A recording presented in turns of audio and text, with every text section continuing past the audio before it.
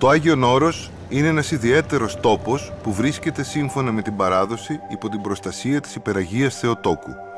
Ο Άθος βρίσκεται στο ανατολικό μέρος της Χερσονήσου της Χαλκιδικής που λούζεται από τη Μεσόγειο. Το όρος του Άθο είναι το υψηλότερο βουνό της Χερσονήσου το οποίο υψώνεται σε υψόμετρο πάνω από 2.000 μέτρα.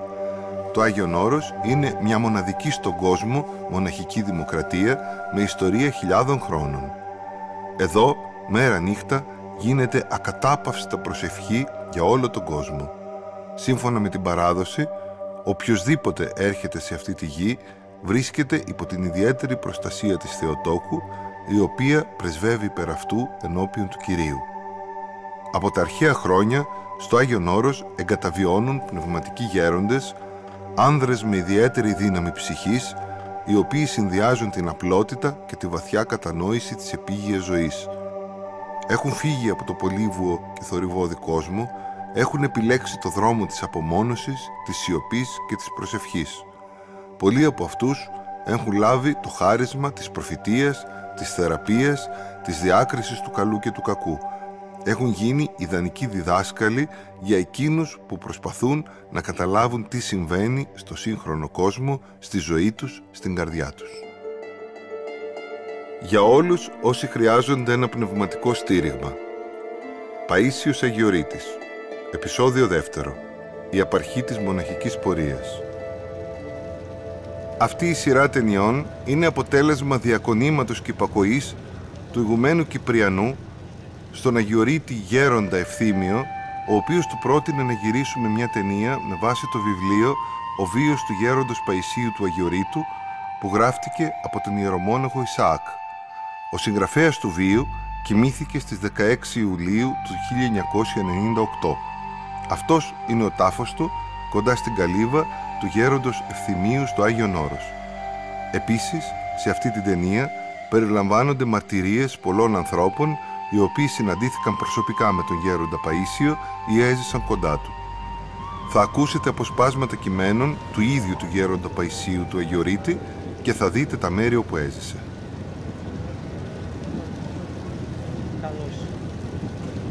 Ενώ επήγε το να πορευθεί στον Ιερό Άθωνα, συνέβη το εξής. Ό,τι οικονομίες είχε, τις σκόρπισε σε φτωχούς και κράτησε μόνο τα ναύλα για το Άγιον Όρος. Ήρθε από τη βόρεια πλευρά, το θεώρησε οικονομία Θεού και πήγε στο μοναστήρι του Εσφυγμένου.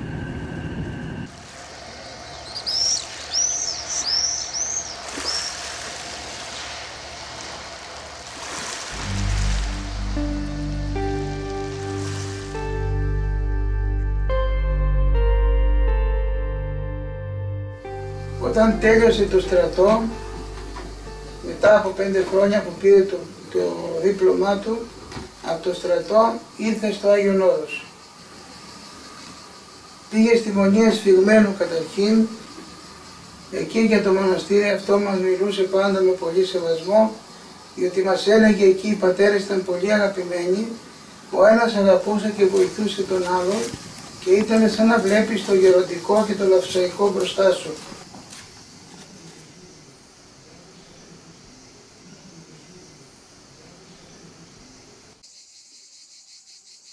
Έλεγε ο γέροντας. Για να βγάλεις μια σαρακοστή του εσφιγμένου τότε ήταν πραγματικός γολγοθάς. Μόνο με ένα πιάτο νερόβρα στο φαγητό του 24ωρο. Ήταν το πιο αυστηρό κοινόβιο.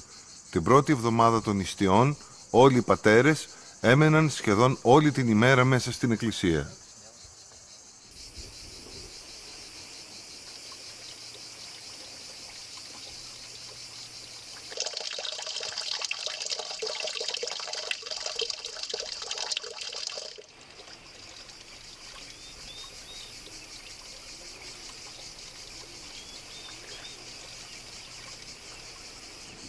Όταν ήμουν στο κοινόβιο, βοηθήθηκα πολύ από έναν πατέρα. Δεν μιλούσε καθόλου. Αισθανόταν την ανάγκη της συνομιλίας με τον Χριστό. Δεν του έκανε η καρδιά να μιλήσει με τους ανθρώπους. Μόνο που τον έβλεπες έφθανε. Με βοήθησε πιο πολύ και από τα συναξάρια.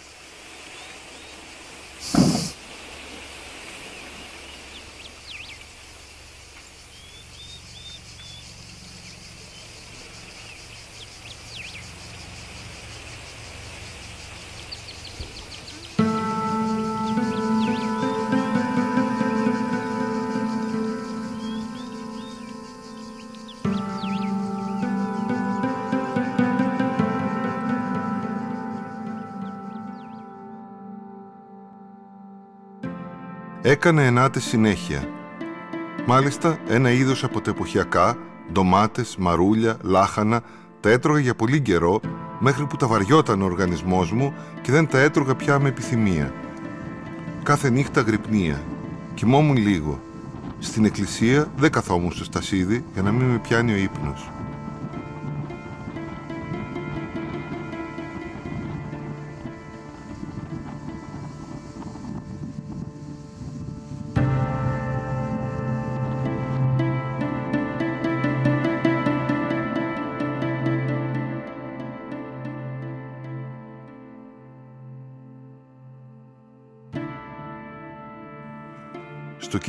Για προσκέφαλο, είχα ένα κούτσουρο από καστανιά.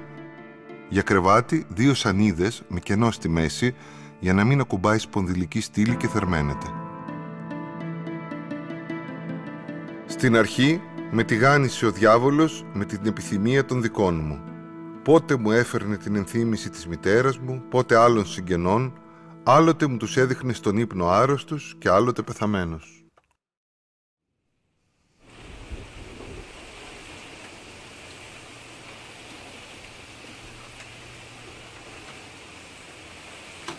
Όταν είχαν σωθεί τελείως οι μπαταρίες, εξαντλήθηκαν οι δυνάμεις, διηγήθηκε, έζησα ένα γεγονός. Μια νύχτα, ενώ προσευχόμουν όρθιος, ένιωσα κάτι να κατεβαίνει από πάνω και να με περιλούζει ολόκληρο. Αισθανόμουν μια αναγαλίαση και τα μάτια μου έγιναν δύο βρύσες που έτρεχαν συνέχεια δάκρυα. Έβλεπα και ζούσα αισθητά τη χάρη. Μέχρι τότε συγκινήσεις και τέτοια είχα αισθανθεί πολλές φορές, αλλά τέτοιο πράγμα πρώτη φορά μου συνέβη.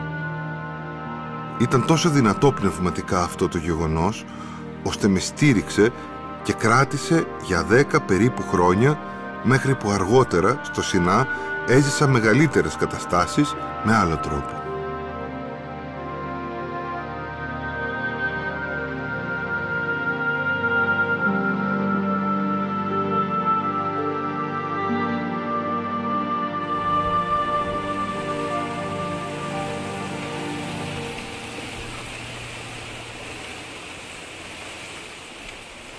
Η φλογερή επιθυμία για ήσυχη ζωή όλο και δυνάμωνε μέσα του. Πρώτα πήγε και προσκύνησε την εικόνα της Πορταΐτισσας στην Ιβύρον. Αλλοιώθηκε η μορφή της Παναγίας. Έγινε πολύ γλυκιά. Από αυτό πληροφορήθηκε ότι είναι σύμφωνη με το θέλημα του Θεού η αναχώρησή του. Όταν εμπιστευτείς τον εαυτό σου στη φροντίδα του Θεού, δεν έχεις την ανάγκη να ζητάς κάτι ή να ανησυχείς γιατί ο Θεός έχει καταλάβει τα πάντα. Μόνο να περιμένεις υπομονετικά να οριμάσει ο καρπός και να πέσει.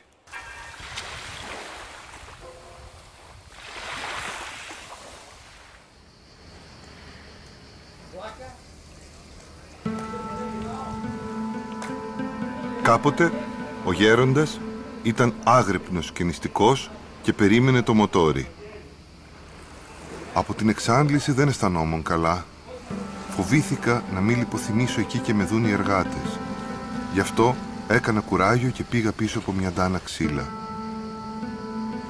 Σκέφτηκα προς στιγμή να παρακαλέσω την Παναγία και αμέσως είπα στον εαυτό μου «Άθλιε, την Παναγία για το ψωμάκι την έχουμε».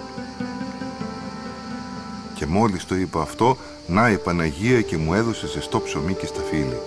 Ε, από εκεί και πέρα μετά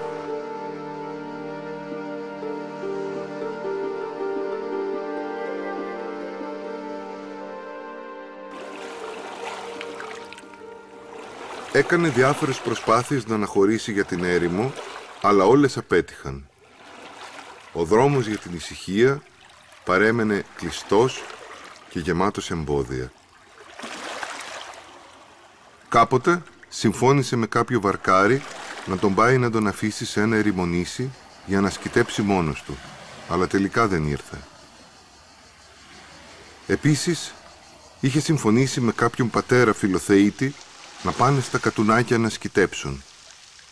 Αλλά μια νύχτα, πριν σημάνει το τάλαντο για την εκκλησία, ο γέροντας χτύπησε την πόρτα του κελιού αυτού του μοναχού και εκείνος του είπε ότι δεν είναι θέλημα Θεού να φύγουν. Ο μοναχός του διηγήθηκε το εξής όνειρο που είδε. Τρέχαμε στη στέγη της μονής και ενώ ήμασταν έτοιμοι να πηδήξουμε, μια μαυροφόρα γυναίκα μας κράτησε από την πλάτη και είπε ότι είναι γκρεμός και θα σκοτωθούμε.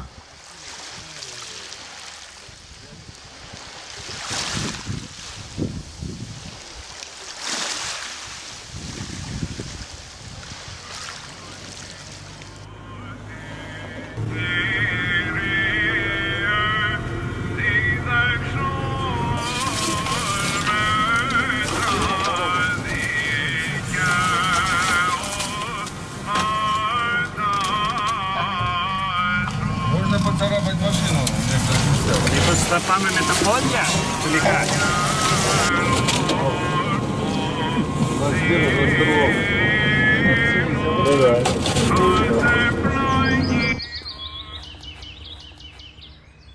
Ο πατήρα Βέρκιος, ενώ ζητούσε ησυχαστική ζωή, έκανε υπακοή και βρέθηκε σε ιδιόρυθμο μοναστήρι.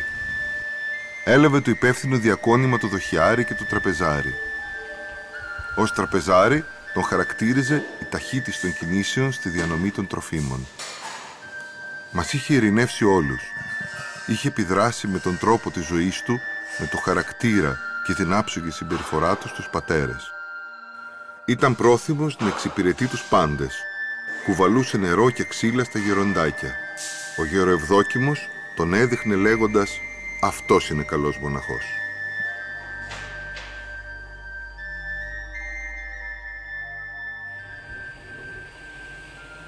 Ο πατήρα Βέρκιος, σύμφωνα με το μοναχολόγιο, είχε προσέλθει στη Μονή στις 12 Μαρτίου του 1956.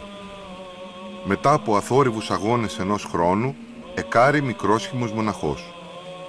Του δόθηκε το όνομα Παΐσιος προς τιμήν του δραστηρίου Μητροπολίτου Κεσαρίας Παϊσίου του Δευτέρου, που καταγόταν από τα Φάρασα. Η κουρά του έγινε στις 3 Μαρτίου 1957.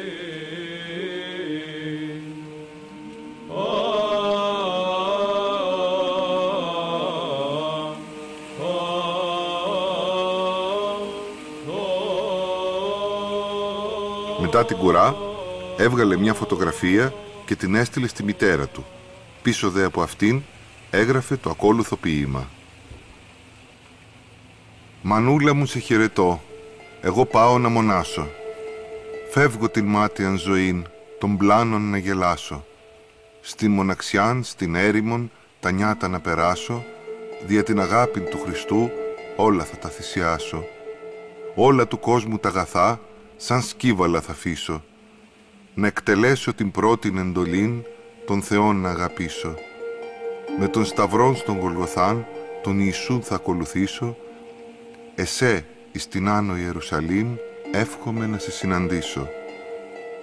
Φεύγω από την μεγάλη σου στοργήν, μανούλα, να μπορέσω δια να είμαι θα αιώνια μαζί, τον Ιησούν θα παρακαλέσω. Δι' αυτό μικρό σε θέλησα τα μαύρα δια να φορέσω, να αφιερωθώ εις τον Χριστόν, του Θεού να αρέσω. Και διαμητέρα εις το εξής θα έχω την Παναγίαν, να με φυλάξει αυλαβή απ' του εχθρού την πανουργίαν. Μάνα μου, με κατάνοιξην στην έρημον εδώ στην ησυχίαν, θα εύχομαι πάντα δι' εσέ και δι' όλην την πολιτείαν. Αυτό το λευκό κτίριο είναι το ξυλουργείο. Ναι, αυτό πίσω από το φράχτη.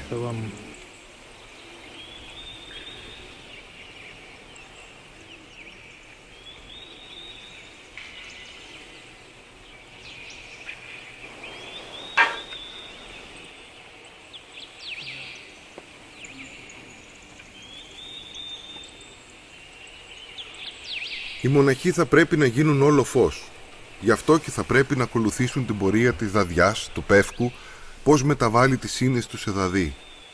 Το πεύκο θα πρέπει να αναπτυχθεί σε βραχώδη τόπο και προσήλιο και αφού πελεκυθεί η φλούδα του και δακρύσει, τα δάκρυα εκείνα της ρετσίνης που θα ποτίσουν συνέχεια τον κορμό, με τις θερμές ακτίνες του ήλιου, σιγά σιγά μεταβάλλουν ολόκληρο το πεύκο σε καλό δαδί και προσφέρει το φως του και τα προσανάματα για να ανάβουν τις φωτιές τους οι άνθρωποι.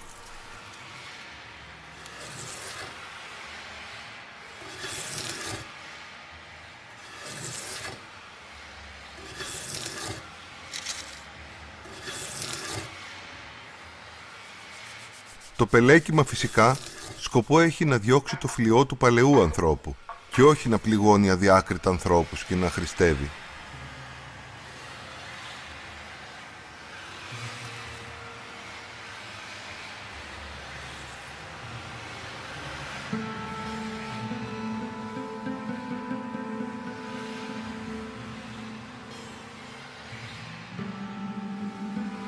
Η Φιλοθέου είναι σε αρκετό υψόμετρο.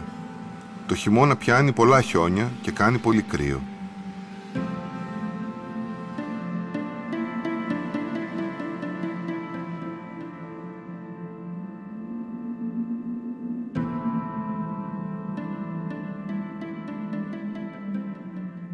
Ο πατήρα Βέρκιος όμως, για άσκηση, δεν άναβε φωτιά στο κελί του. Τον θέρμενε η χάρη του Θεού και τον φύλεγε από μεγάλες ασθένειες, αν και συνεχώς υπέφερε από κάτι. Ποτέ δεν ήταν τελείως υγιής. Και ενώ από την άσκηση έλεγε «Είχα γίνει πετσί και κόκαλο, σαν σκελετός», ένα βράδυ αισθάνθηκα τον πειρασμό σαν γυναική αναπνοή κοντά στο αυτί μου.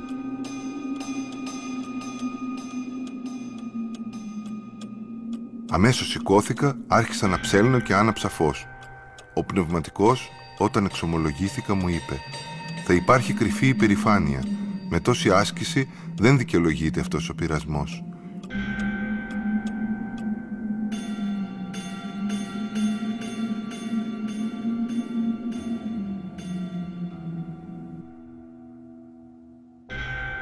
Και πράγματι διαπίστωσα και ο ίδιος, αφού εξέτασα τον εαυτό μου, ότι ο λογισμός μου έλεγε μερικές φορές ότι κάτι είμαι και τέλος πάντων κάτι κάνω. Φου χαμένα πράγματα. Όταν στην ψυχή υπάρχει περηφάνεια και έχουμε το ταγκαλάκι, επόμενο είναι να πετάει συνέχεια κλωτσιές η σάρκα και σκελετωμένη να είναι. Σαν τα σκελετωμένα γαϊδουράκια που έχουν ζάντζα, τα οποία ενώ τα αφήνουν ιστικά μέχρι ψόφου για να ημερέψουν, αυτά συνέχεια πετούν κλωτσιές γιατί έχουν μέσα τους τη ζάντζα. Γι' αυτό απαραίτητη είναι η ακτινογραφία για τον αρχάριο από τον πνευματικό του ιατρό για να ειδεί πρώτα την πάθηση και μετά ο ίδιος ο ιατρός θα καθορίσει τα φάρμακα και τη δίαιτα. Εκεί είναι ο κήπος, πιο κάτω είναι οι ελιές. Εδώ έχουμε από όλα τα φρούτα. Είχαμε κάποτε και καρυδιές, αλλά τώρα ξεράθηκαν όλες και φυτέψαμε άλλα δέντρα.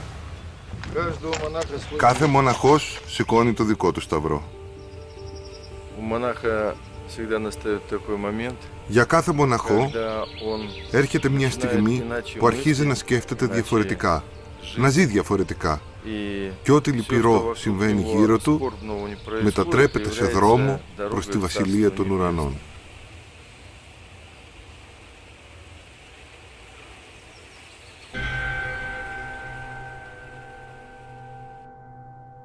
Έκανα προσευχή στο κελί μου. Ξαφνικά ακινητοποιήθηκα τελείως. Δεν μπορούσα να σηκωθώ. Ήταν αδύνατο. Μια αόρατη δύναμη με κρατούσε ακίνητο. Κατάλαβα ότι κάτι συμβαίνει. Έμεινα έτσι σαν βιδωμένος για δυο-δυόμιση ώρες. Μπορούσα να προσεύχομαι, να σκέφτομαι, αλλά δεν μπορούσα να κινηθώ καθόλου. Ενώ βρισκόμουν σε αυτή την κατάσταση, είδα σαν σε τηλεόραση από τη μια μεριά τα κατουνάκια και από την άλλη τη μονή στο μείου στην κόνιτσα. Εγώ λαχτάρα γύρισα τα μάτια μου προς τα κατουνάκια. Μια φωνή τότε, ήταν της Παναγίας, μου είπε καθαρά «Δεν θα πας στα κατουνάκια, θα πας στη μονή στο μείου». «Παναγία μου, εγώ έρημο σου ζήτησα και εσύ με στέλνεις στον κόσμο» είπα. Αμέσως λύθηκα από εκείνο το αόρατο δέσιμο και πλημμύρισε η καρδιά μου από τη Θεία Χάρη. Μετά πήγα και το είπα στον πνευματικό. Αυτό είναι το θέλημα του Θεού, μου είπε. Μην κάνεις όμως λόγο για το γεγονός. Πες πως για λόγους υγείας, έβγαζε αίμα εκείνη την εποχή, θα χρειαστεί να βγεις από το όρος και πήγαινε. Άλλο ήθελα εγώ, αλλά ο Θεός είχε το σχέδιό του.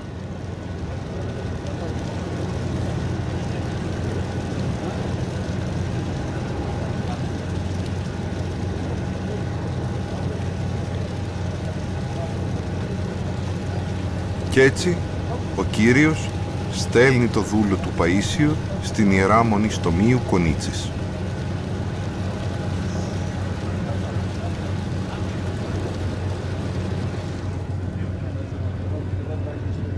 Έλεγε ο ίδιος «Το τάμα που είχα κάνει στην Παναγία, αν με διαφυλάξει χάρη της κατά τον πόλεμο, να πάω τρία χρόνια να βοηθήσω να χτιστεί το καμένο μοναστήρι της, νόμιζε ότι η Παναγία πλέον δεν θα το ζητήσει μιας και έγινα μοναχός. Αλλά φαίνεται ότι το ήθελε.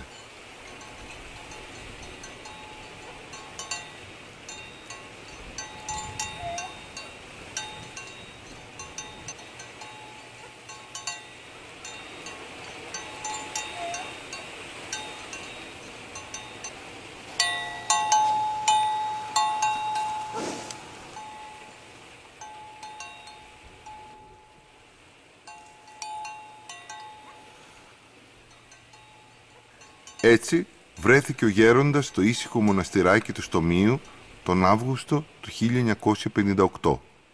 Οι άνθρωποι χάρηκαν με τον ερχομό του και τον επισκέπτονταν αρκετοί. Να σημίσω τώρα να έρθουν λίγα τα καντήλια. Ανάψουμε τα καντήλια, μην βγάζεις τώρα. Ε;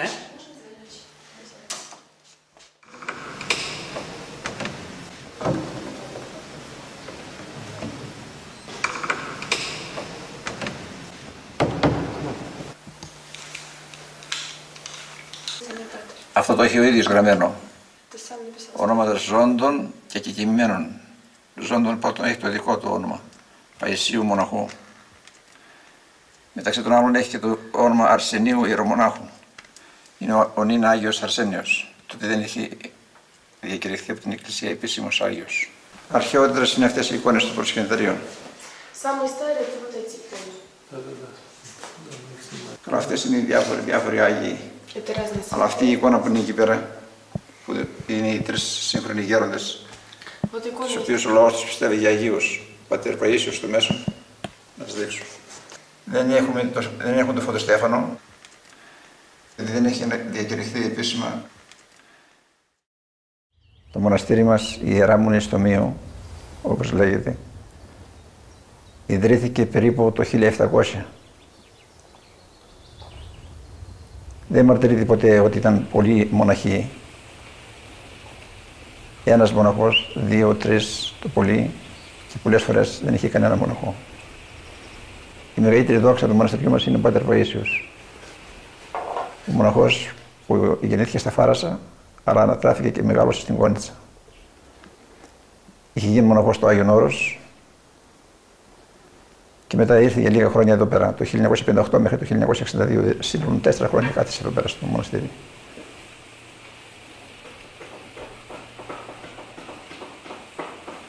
Ο πατήρ Παΐσιος άρχισε να ξαναχτίζει την καμένη μονή χωρίς να έχει ούτε χρήματα ούτε υλικά. Τον βοηθούσαν μόνο κάποιοι καλοί χριστιανοί. Όταν ήρθε ο Πατέρ Παΐσιος εδώ, φρόντισε να γίνουν αυτά τα κοιλιά που είναι απέναντι. Ο πατήρ Παΐσιος αγόρασε ξύλα και έφτιαξε ο ίδιος τα κουφώματα, τα στασίδια, τα τραπέζια και πολλά άλλα.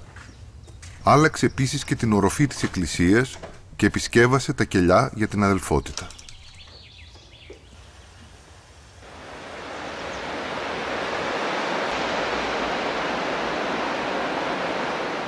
Έχω 7 χρόνια που τον γνώρισα.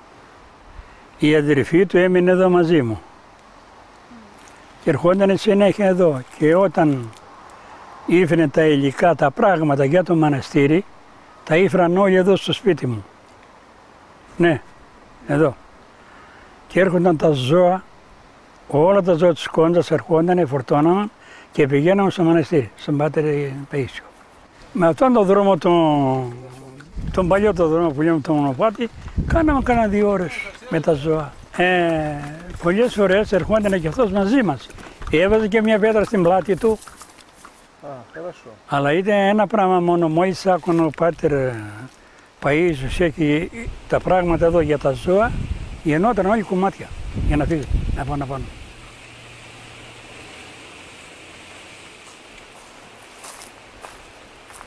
Είχα πολλές δυνάμεις. Μια απόσταση δύο ωρών την έκανα σε τρία τέταρτα. Νερό έπινα αίμα γινόταν. Τύχαινε να πάω από το στόμιο στην Κόνιτσα τρεις-τέσσερις φορές την ημέρα για να κουβαλήσω υλικά στην πλάτη για το καμένο μοναστήρι.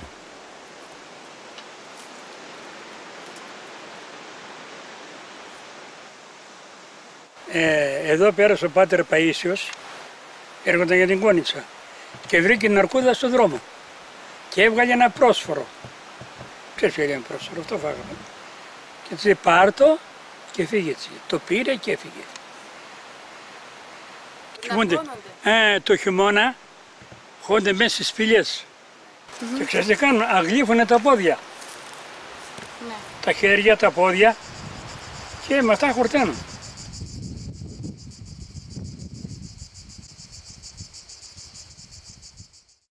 Η κυρία Πινελόπη Μπαρμπούτη διηγείται ότι όταν είχε πονοκέφαλο ακουμπούσε το κεφάλι του στην εικόνα της Παναγίας και ο πόνος έφευγε. Τη ζύμη για τα πρόσφορα τη ζύμωνε χωρίς προζύμη. Τη σταύρωνε μόνο και εκείνη φούσκωνε.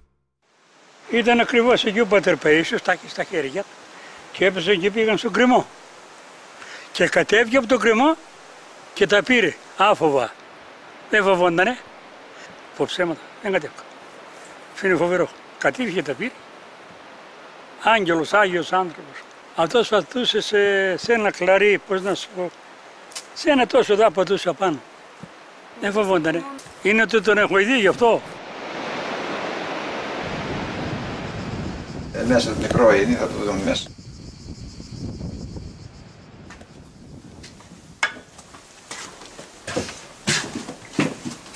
Εδώ κοιμόταν, που είναι το κρεβατάκι. Αυτό το είχε για προφύλαξη από το, την υγρασία που είχε το πνευμόνιο το άρρωστο.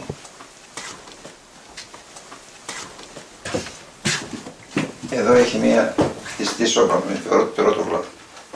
Χάλασε τώρα. Πολυμένες. Καθώς και εκείνο. Λίγα θα βάλουμε αυτό. Α- Αυτή η εικόνα του Κυρίου ζωγραφίστηκε στο μοναστήρι του Σιρωτής που είδε ο Πατέρ Παΐσιος. Είναι κατά παραγγελία του Πατέρ Παΐσιου, ο οποίος είχε, δια- είχε αποκάλυψη του- από τον Κύριο και τη ζωγράφησαν κατά, όπως τους επέτρεξε ο Πατέρ Παΐσιος. Με ο γλυκό πρόσωπο.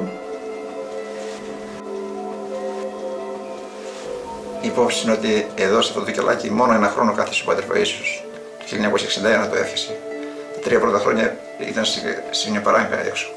Για άσκηση κοιμόταν.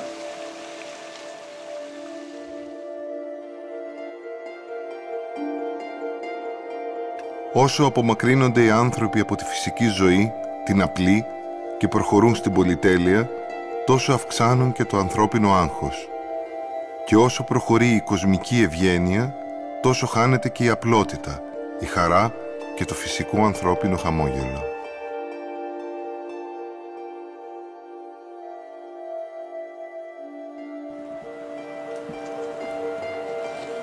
Πριν από την είσοδο της Μονής, σε ένα υψωματάκι δεξιά άνοιξε έναν τάφο. Εκεί έστησε σταυρό και κάθε μέρα άναβε το καντιλάκι και θυμίαζε. Το έκανε και για μνήμη θανάτου, αλλά κυρίως για να αποτρέψει τους κοσμικούς να διασκεδάζουν εκεί. Σταμάτησαν τα γλέντια και οι χωροί. Στο πανηγύρι μόνο τους έκανε οικονομία να πηγαίνουν απέναντι στις οξιές, όπου είχε και τρεχούμενο νερό, να τρώνε.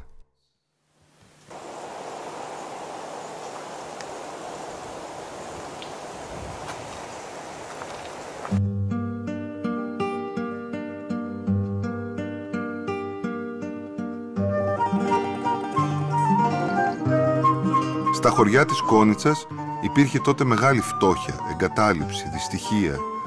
Ο γέροντας συγκέντρωνε ρούχα, χρήματα, τρόφιμα και φάρμακα, τα έκανε δέματα και τα έστελνε σε ανθρώπους που στερούνταν. Εδώ στην Κόντσα όταν έμεινε ο γέροντας, σε διάφορα σημεία πηγαίνοντας από την επάνω Κόντσα μέχρι κάτω στο ποτάμι, στην Αγία Βαρβάρα, σε μερικά σημεία άφηνε κάτι τέτοια κουτάκια. Και όποιος είχε κάποια οικονομική άνεση ή κάτι του περίσσευε από το στέρημά του, το έβαζε μέσα εκεί.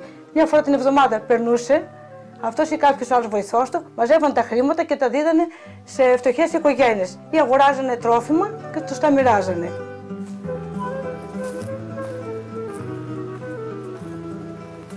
Ο κύριος Θωμάς Τάσιος μαρτυρεί.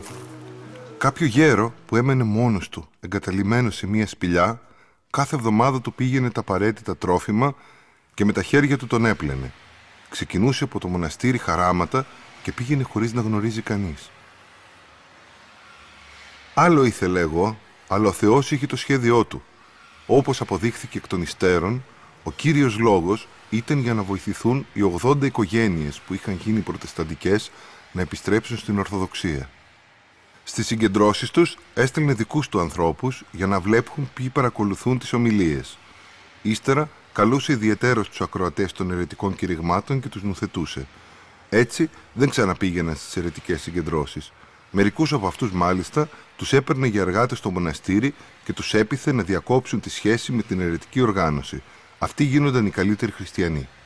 Ύστερα από συζήτηση που έκανε με τον αρχηγό τους που ερχόταν από τη Θεσσαλονίκη, τον έπεισε να μην ξανάρθει στην Κόνιτσα.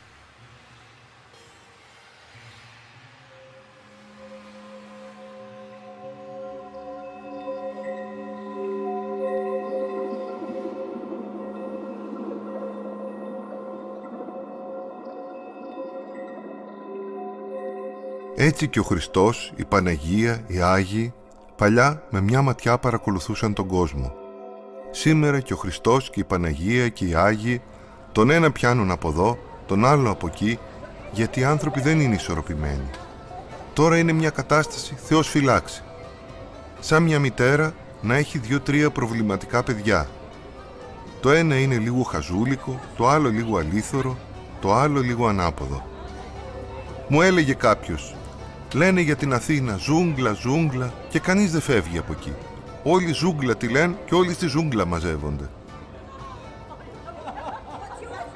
Και βλέπεις, ενώ ο Άγιος Κωνσταντίνος κατάργησε την ειδωλολατρία και καθιέρωσε ως επίσημη θρησκεία όλης της αυτοκρατορίας στο χριστιανισμό, σήμερα πάνε να φέρουν πάλι την ειδωλολατρία. Επιτρέπουν να φτιάχνουν τζαμιά, να έχουν οι γκουρούδες τα δικά τους μοναστήρια, να κάνουν ελεύθερα διαλέξεις, να γίνονται διάφορα κέντρα προσιλητισμού, οι μασόνοι να δρούν ελεύθερα, οι αχοβάδες το ίδιο. Βάλετε η Ορθοδοξία με ένα σωρό θεωρίες. Αλλά δεν θα σταθούν αυτά. Θα σοριαστούν.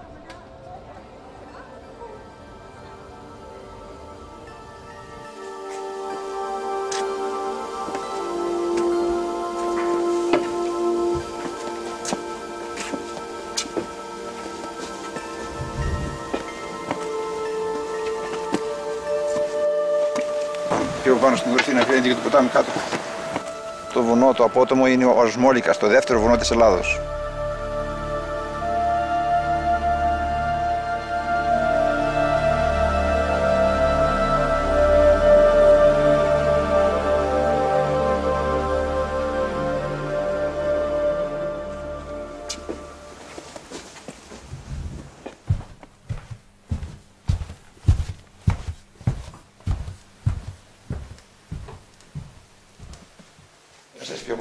Χρονιά που πήγε στο Στόμιο, αποφάσισε να κάνει την ανακομιδή των λιψάνων του Οσίου Αρσενίου. Είχαν περάσει περισσότερα από 30 χρόνια και ακόμη ήταν θαμένος στο μοναστήρι της Κερκύρας. Άφησε τη φροντίδα του μοναστηριού στον αδελφό του Ραφαήλ και τον Οκτώβριο του 1958 πήγε στην Κέρκυρα. Εκεί αναζήτησε τον παλαιό φίλο και συστρατιώτη του Παντελή Τζέκο.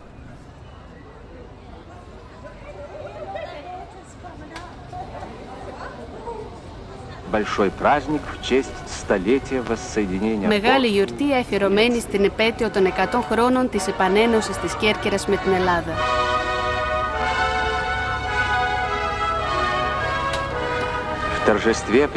Στη γιορτή παραβρέθηκαν ο νεαρός βασιλιάς των Ελλήνων Κωνσταντίνος και η πριγκίπισσα Ειρήνη.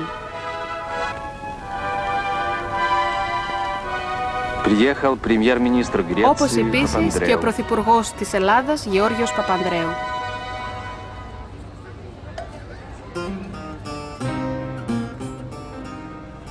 Τον βρήκε στο εργοστάσιο που εργαζόταν.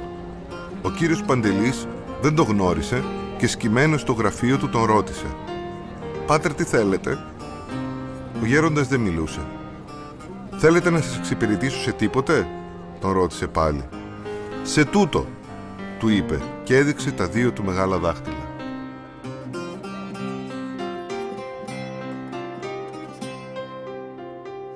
Γιατί είχαμε τα δύο δάχτυλα όμοια. Αυτά είναι τα νόμια του τα δικά του. Μόνο που δεν τρελάθηκα από τη χαρά μου. Δεν έτρεξα, τα λαμπιάλιαζα, τα λοφιτούσα. Πάμε σπίτι του, λέω, πήγαμε σπίτι γιατί θα έρχονταν να κάνει την ανακομιδή των υψάνων του Αγίου Αρσενίου. Και ήθελε να πάμε μαζί. Το βράδυ λοιπόν, λέω, έκαμε τόσο δρόμο και θα φας κρέα. Όχι, λέει, δεν τρώμε κρέας, λέει. Λέω, τι θα φας. Λέει, ως χρήζομαι, χόρτα. Χόρτα του λέω θα φας. Λέει, ναι, είσαι στα καλιά σου, του λέω. Λέει, ναι, αυτό θα φάω. Ε, όταν έφαγε πήγαμε και πήγαμε και μυθήκαμε ο ένας στο ένα κρεβάτι και ο άλλος στο άλλο κρεβάτι. Το βράδυ σηκωνόταν, ήταν 12.30 ώρα. Και απέναντι ήταν τα εικονίσματα. Και ήρθα από πάνω μου να δει εάν κοιμάμαι. Εγώ έκανα πως κοιμόμουν. Γονάτισε, προσευχότανε, ξανά φύγε πάλι, πήγε στο κρεβάτι του, τις δυόμιση ώρα πάλι, πάλι ξανασηκώθηκε. Πάλι ήρθα από πάνω μου να δει αν θυμάμαι. Εγώ είχα ένα ρολέο ιταλικό, όπου είχε ε, φωσφορούχος οι, οι ρόλες και οι δείχτες. Και πάντα κοιμάμαι, πάντα μέχρι τώρα, με τον χέρι απ' έξω από τα κεφάλματα. Και βλέπα την ώρα. Το ίδιο έκαμε, σηκώθηκε, έφυγε, πήγε, μέσα, πήγε στο καρβάτι του και κοιμήθηκε. Τέσσερις ή μισή ώρες ξανασηκώθηκε. Ξανά πάλι προσευχή. Ε, στις 6 ώρα μου λέει σήκω, θα φύγουμε λέει για να κάνουμε την ανακομιδή των λιψάνων. Του λέω δεν θα πάμε να κάνουμε την ανακομιδή των λιψάνων. Γιατί ήταν, ήταν 8, 9 Οκτωβρίου, 8 ήρθε, 9 Οκτωβρίου και έβρεχε. Γιατί μου λέει, γιατί λέω όταν άρχισε να βρέξει εδώ πέρα από τον Οκτώβρη, τελειώνει λέω 10, 10 Ιανουαρίου. 8-10 Ιανουαρίου. Πάντα εδώ στην Κερσία. Αυτό το έχει το κλίμα. Λέει θα πάμε και δεν, δεν θα περάσουμε λέει 200 μέτρα και θα σταματήσει η βροχή. Επειδή τον ήξερα εγώ από το στρατό, λέω καλά, ας πάρω μια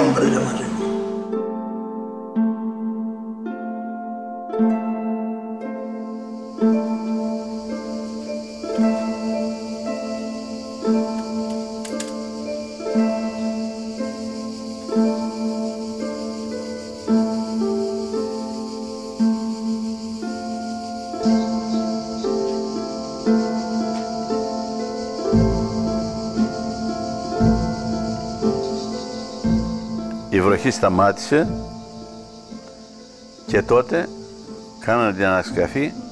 Φοβόταν, φοβόμουν να λέει τότε ο, Αγί, ο Πατρί Παΐσιος, φοβόμουν λέει μήπως και είναι ολόκληρος, γιατί πολλά λείψα να βγαίνουν ολόκληρα και τότε πώς θα τον πάρω, δεν θα μου αφήσω να τον πάρω. Αλλά ευτυχώς λέει είχε λιώσει τελείως, έμειναν μόνο τα κοκαλάκια, τα οποία τα μάζεψαν, τα έβαλε στο, σε μια σακούλα μέσα και από εκεί σηκώθηκα, πήρα το αυτό και γύρισα πίσω στη Θεσσαλονίκη.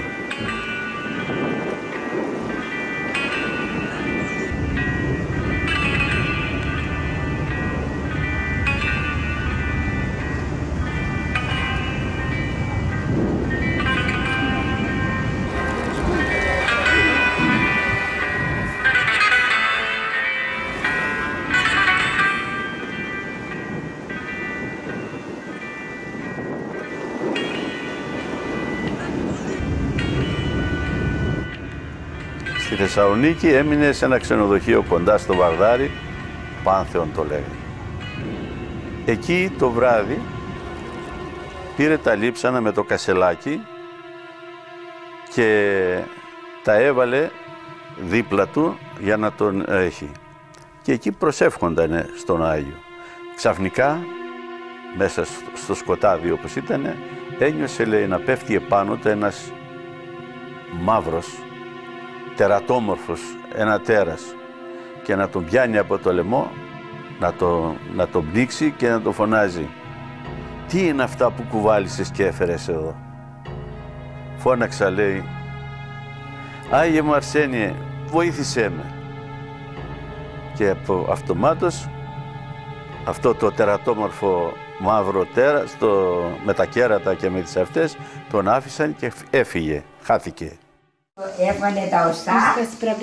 Ναι, τα είχαμε εμεί τα οστά του πατέρας εδώ. Στο νυχτόμι χρανίλη μου. Ύστερα τέσσερα χρόνια, πέντε, έξι, δεν θυμάμαι να σα γελάσω, πού θα θυμηθώ εγώ. Δεν θυμάμαι. Και όταν θα φύγουν, θα πάρω τα οστά όλοι. Για να μην τα πάω στο μοναστήρι, λέει και να τα φέρουν. Και τα είχαμε εκεί και αναλαμβάνω το καντήλι. Και είχαμε ένα, του παλιό του σπίτι πέρα. Ήτανε... Σαν κελάρι, δεν ξέρω εγώ εσείς πώς το λέτε. ήταν ψηλά, το είχαμε ανοίξει σαν αυτό και τα τάλαβες και το ανάβαμε το καλί, κάθε, όσο θα τα πάρει. Ε, στο βίο του Αγίου Αρσενίου που έγραψε ο πατήρ Παΐσιος λέει ότι μετά την κοίμησή του ο Άγιος Αρσένιος, το 1924 κοιμήθη ο Άγιος Αρσένιος, τώρα λέει μετά την κοίμησή του που δεν δεσμεύεται από το υλικό σώμα, ε, έχει πολύ μεγαλύτερη δυνατότητα με τη χάρη του Θεού να τρέχει από τη μία άκρη της γης στην άλλη και να βοηθάει τους ανθρώπους.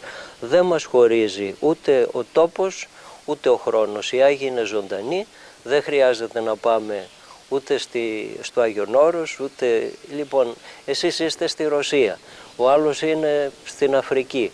Ε, με την προσευχή και με τα μυστήρια της Εκκλησίας, όταν ζούμε μέσα στην Εκκλησία, ε, επικοινωνούμε με τον Χριστό μας, με την Παναγία, με τους Αγίους και με τον Γέροντα Παΐσιο.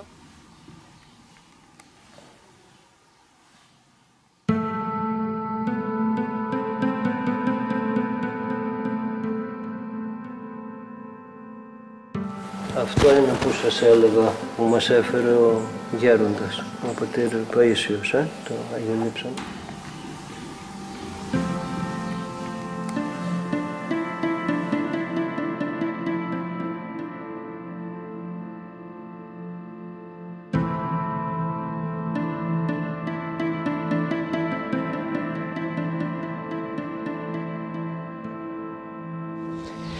Κοιτάξτε, όταν εμείς α, μιλούμε για τον Άγιο Αρσένιο και για τον Πατέρα Παΐσιο δεν ξεχωρίζουμε σχεδόν αυτά τα δύο πρόσωπα. Μας έχουν διηγηθεί άνθρωποι ότι έχουν δει εδώ στην αυλή του μοναστηριού το Γέροντα Παΐσιο ε, να τρέχει και να φροντίζει για την προστασία του μοναστηριού. Και ξέρουμε βέβαια ότι αυτό γίνεται σε όλα τα μοναστήρια από τους προστάτες Αγίους. Οπότε έχουμε και τον Άγιο Αρσένιο αλλά και τον Γέροντα Παΐσιο. Αυτοί είναι θα έλεγα δύο, ε, δύο πλευρές ας πούμε του ιδίου νομίσματος είναι τόσο, τόσο πολύ συνδεδεμένοι είναι, είναι το, το ίδιο ακριβώς πνεύμα και με πολύ χάρη Θεού και οι δύο.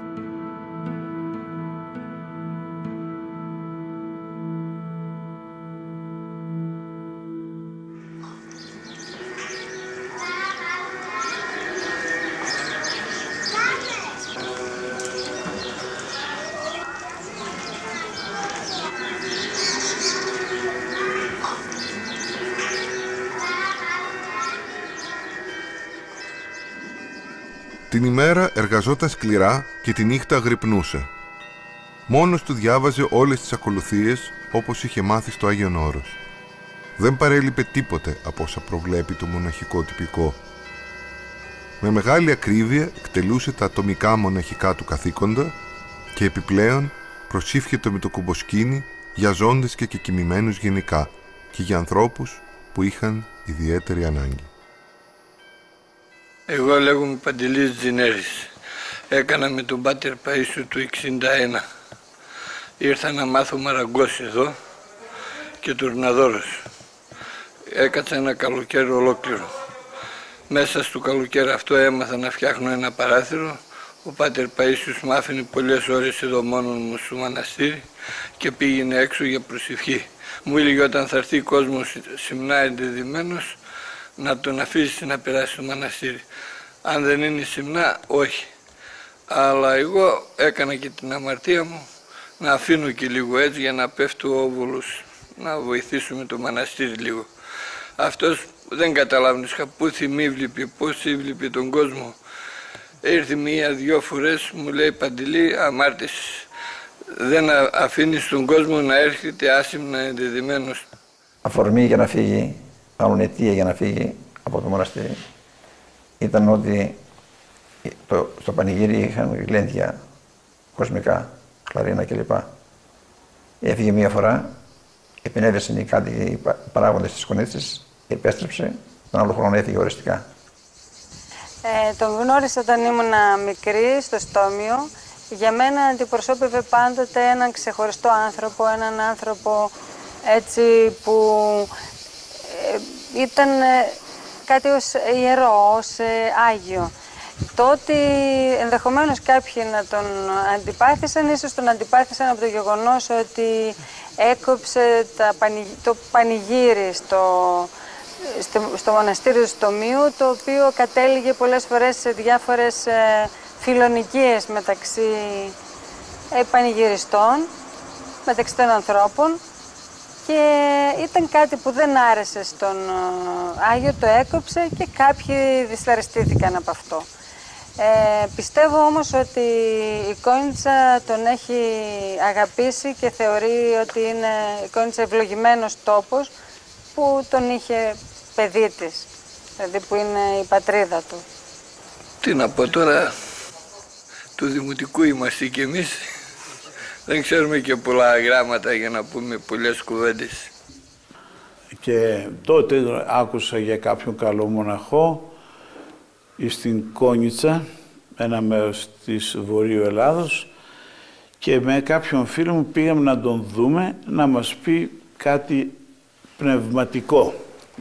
Και τον συναντήσαμε, νομίζω ήταν ο Σεπτέμβριος, Οκτώβριος, κάπου εκεί του, του 1962 και εγώ δεν έχεις το συναγέροντα και περιέργως μας είπε το έχω σκεφτεί. Και του λέω, δηλαδή ξέρετε το Σινά; Και εγώ απόρρισα πώς έτσι; Διότι ήταν δύσκολες οι συνθήκες και μου λέει πάρε την ταυτότητά μου, βγάλε το διαβατήριό μου και μάλιστα μου λέει ε, ε, ε πάρε και λεφτά, θα μου δώσει και λεφτά για το εισιτήριο. Εγώ λέω, όχι, δεν θα πάρω καθόλου. Θα... Αυτό είναι, όχι, επέμεινε να πάρω κάποια χρήματα. Ήταν μοναχός. Είχε καθίσει τέσσερα χρόνια στο Στόμιο. Αλλά κατέβαινε εδώ την Κυριακή για να λειτουργηθεί, γιατί δεν είχε παπά πάνω συνέχεια στο μοναστήρι και ερχόταν εδώ για να λειτουργηθεί και να κοινωνήσει. Και από εδώ μετά έφυγε από αυτή την πόρτα, βγαίνει έξω και από εδώ έφυγε και πήγε στο Σινά.